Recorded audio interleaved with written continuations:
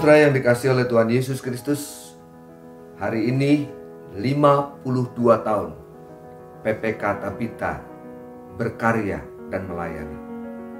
Dan dalam hari ulang tahun yang ke-52 ini, PPK Tabita mengambil tema melayani dengan empati, bekerja sepenuh hati. Tema itu didasari oleh firman Tuhan yang diambil dari Efesus pasal 6 ayat 6 dan ayat 7. Yang demikian bunyi firman-Nya.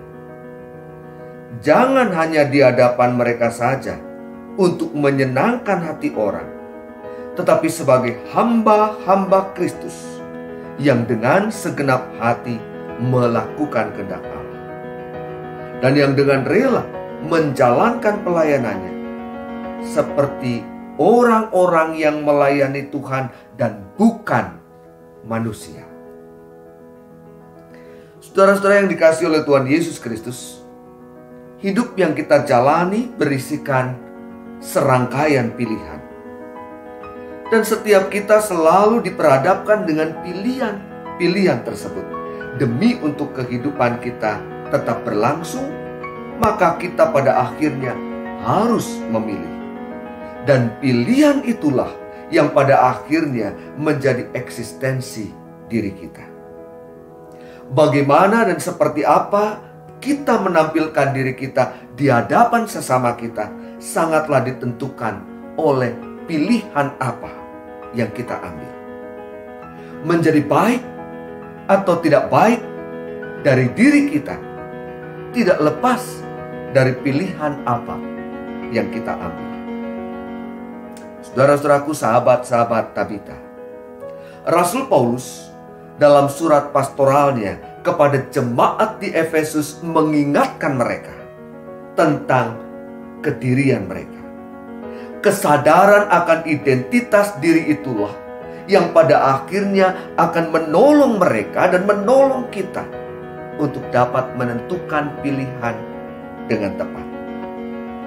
Kesadaran akan identitas kesadaran akan keberadaan diri, itulah yang pada akhirnya memberi warna, memberi ciri dari hidup yang kita jalani.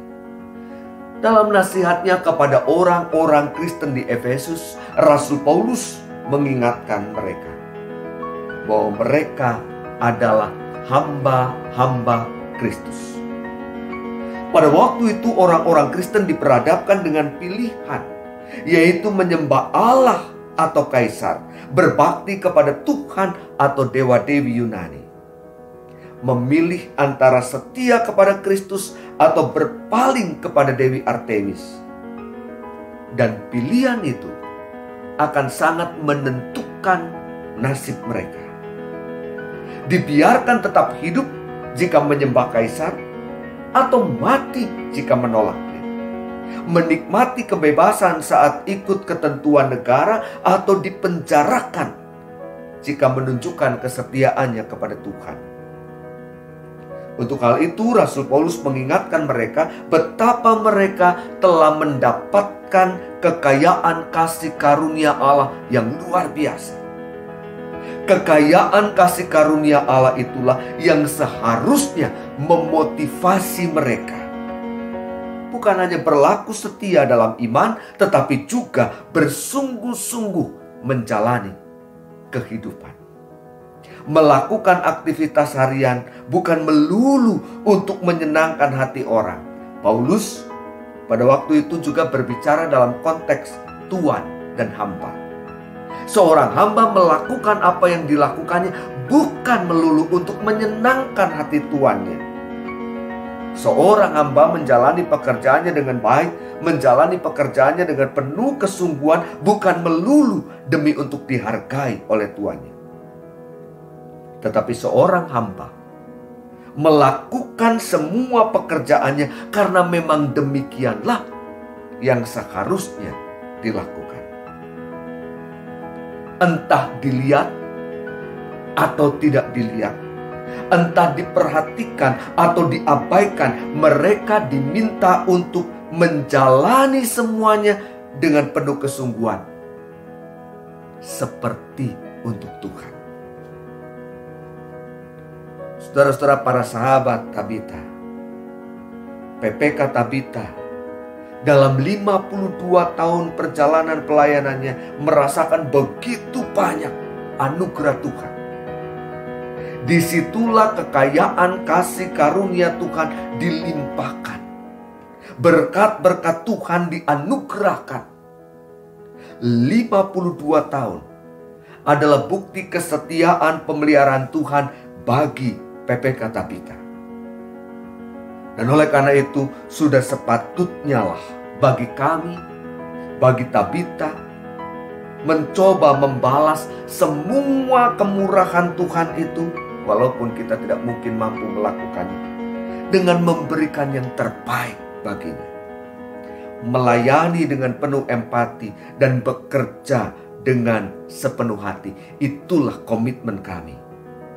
Keluarga besar PPK Tabita memberikan yang terbaik karena Tuhan sudah terlebih dahulu memberikan yang paling baik bagi kami. Bekerja dengan sepenuh hati. Karena Tuhan lebih dulu bekerja terus bagi kami. Saudara-saudara, para sahabat Tabita, terima kasih untuk banyak dukungan yang saudara-saudara berikan dalam pelayanan yang kami lakukan. Bantulah kami agar kami dapat terus memberikan yang terbaik dari pelayanan kami sebagaimana kami melakukannya untuk Tuhan. Satu saja doa kami dalam 52 tahun pelayanan yang kami jalani adalah memuliakan Dia, pemberi semua berkat terbaiknya serta menghadirkan diri kami untuk menjadi berkat bagi semua. Tuhan Yesus memberkati saudara-saudara. Amén.